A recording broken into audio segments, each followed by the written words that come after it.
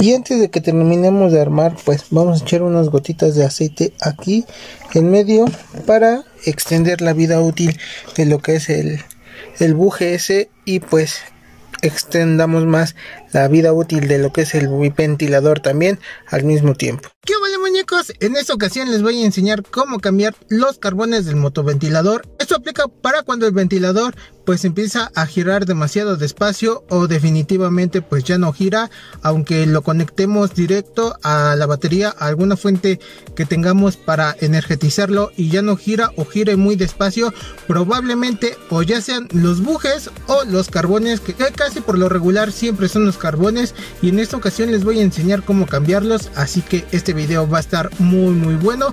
Los carbones valen aproximadamente 30 40 pesos y déjenme decirles que no vamos a quitar lo que es el ventilador porque pues ya tenemos un video de cómo quitarlo es este que está apareciendo en su pantalla. De igual forma se los voy a dejar en la descripción para que vayan a echarle un vistazo. Si ustedes se preguntan cuánto cobra algún mecánico algún eléctrico por hacer esta chamba que es cambiarle los carbones o ya sea el buje, más o menos cobran entre 300 pesos, 350, ya muy manchados pues 400, porque pues sí es un poquito tedioso, laborioso y pues un poquito de todo. Así que vamos a darle ese video porque va a estar muy muy bueno. Les voy a enseñar cómo cambiar los carbones de su motoventilador esto aplica casi para todos los vehículos que existen de que llevan un motoventilador para enfriar el auto. Lo primero que tenemos que hacer o lo primero que tenemos que pensar pues es que si tú la quieres aflojar la vas a apretar. Esta tiene una tuerca a la inversa, entonces le tienes que hacer como si le estuvieras apretando para que pues se salga la tuerca.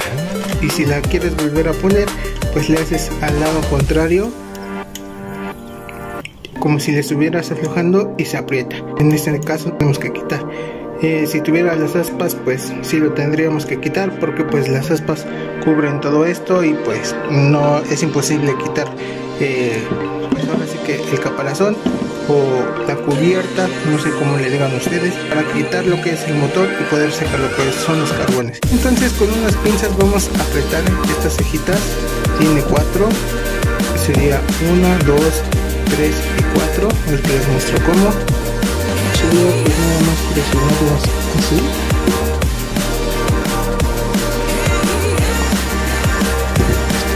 Así.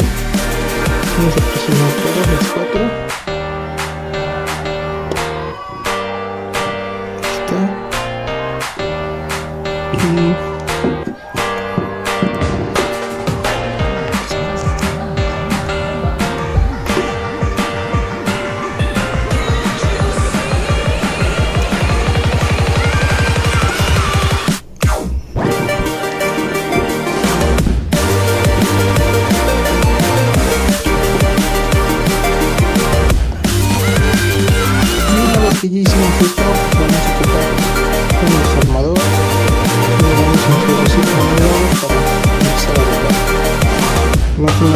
y le vamos empezamos a dar vueltas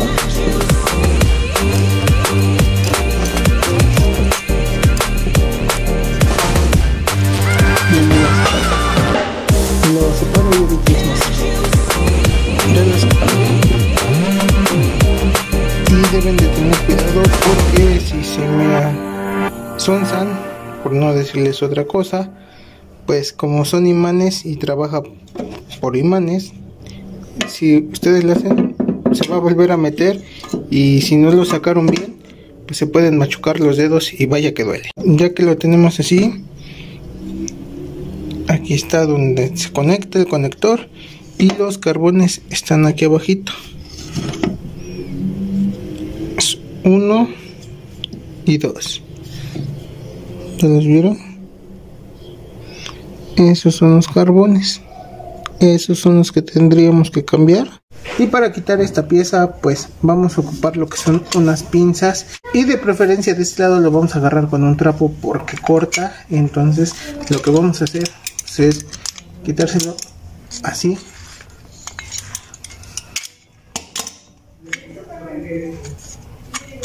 O de igual forma lo podemos hacer con un extractor porque este no tiene rosca. Simplemente va metido como que a presión aquí así pero pues ya es cuestión de cada uno de ustedes de cómo lo quiera hacer. Ya salió. Y ahora sí. De aquí nos van a quedar libres los carbones. Ahí están. Uno y dos.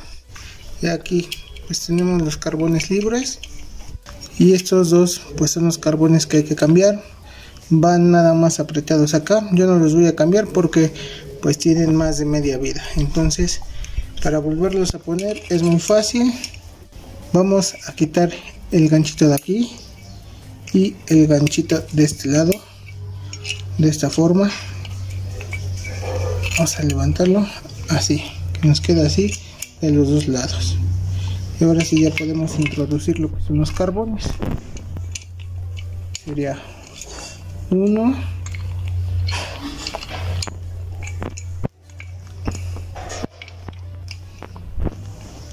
y dos y así ya no tienen tanta resistencia.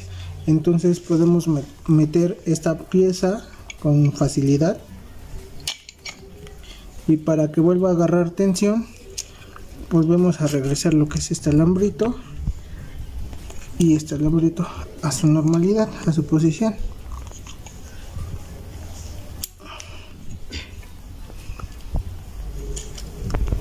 Y listo ya tenemos los carbones otra vez puestos.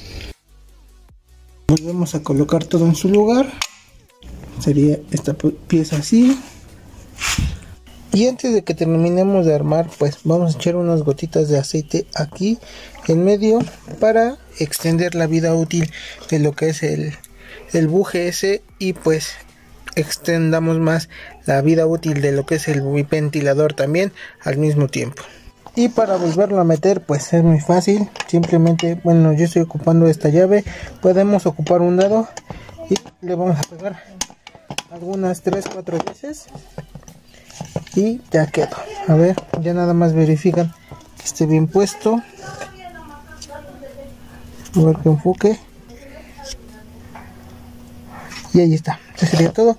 Y sería volver a abrir otra vez las patitas de aquí.